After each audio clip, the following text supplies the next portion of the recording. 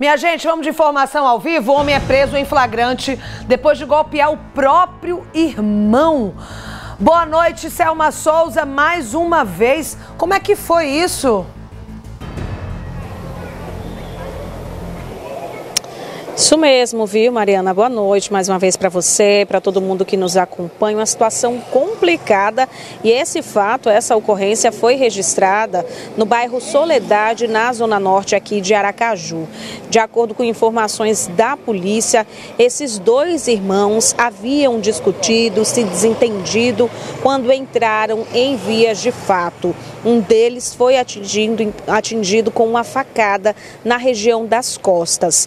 De acordo ainda com a polícia, o suspeito ele não, né, não se rendeu diante né, da, do momento da prisão. A polícia necessitou inclusive do auxílio de familiares para acabar rendendo esse homem. Ainda de acordo com as investigações da polícia militar, esses dois irmãos eles já vinham discutido, né, já vinham discutido recentemente e havia tido essa ameaça. Segundo informações da polícia, esse homem foi preso então em flagrante no bairro Soledade, aqui em Aracaju. Esse suspeito foi encaminhado para a central de flagrantes e a vítima foi encaminhada para o Hospital Nestor Piva, onde em seguida recebeu alta. Situação complicada de fato, né? Imagina para essa mãe presenciar tudo isso. Não tem dor pior, viu?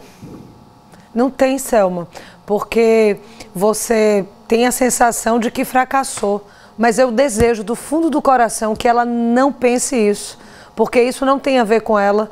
A gente tem um livre-arbítrio, a gente faz as nossas escolhas e eu desejo que essa mãe não se culpe. Obrigada, Selma, pelas informações.